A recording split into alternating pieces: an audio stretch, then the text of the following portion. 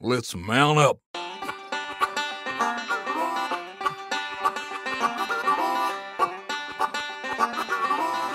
Okay, so these are the lanterns that we got. Uh, we got these from Walmart. They were like $5.97 each, so really not that bad. Uh, right now they're oil lanterns, and we're going to turn them into uh, LED lanterns with some uh, flickering LEDs that we got on eBay.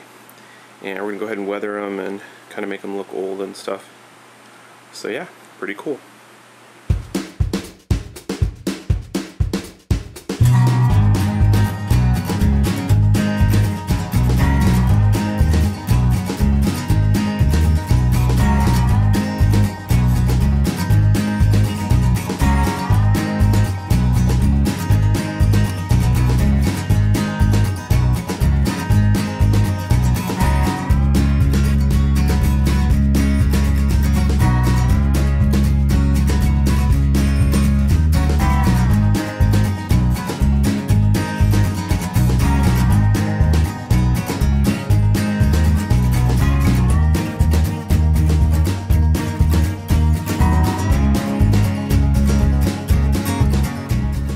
Using a product called Brutal Rust uh, to weather our lanterns, and uh, we found out about this stuff at HauntCon uh, a couple years ago. We took a workshop there uh, with Shane, and uh, we just thought it was really awesome.